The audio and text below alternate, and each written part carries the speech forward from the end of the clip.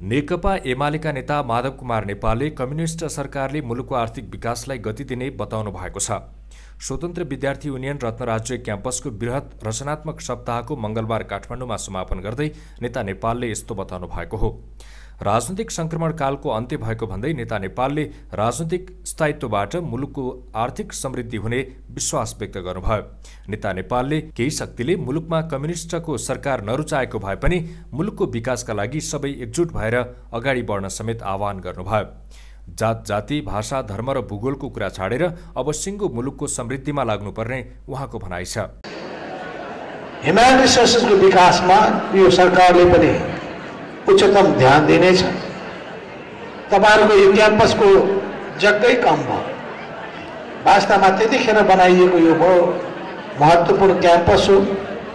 अब हामीले अलिक धेरै फराकिलो ठाउँहरू खोज्नुपर्छ हिजो हाम्रो दिमाग कस्तो भयो भने न्यारो गेज मेन्टालिटी भयो अब हाम्रो दिमाग एट लेन मेन्टालिटी हुनुपर्छ टेन लेन मेन्टालिटी हुनुपर्छ सडक चौडा गर्नुपर्छ दिमाग फराकिलो गर्नुपर्छ देशलाई केन्द्रबिन्दुमा राख्नुपर्छ जुनसुकै काममा लाग्ने हो भने पनि इमान्दारिताका साथ लाग्नुहोस् निष्ठाका साथ लाग्नुहोस् समर्पणका साथ लाग्नुहोस् एकाग्र चित्त भएर लाग्नुहोस्।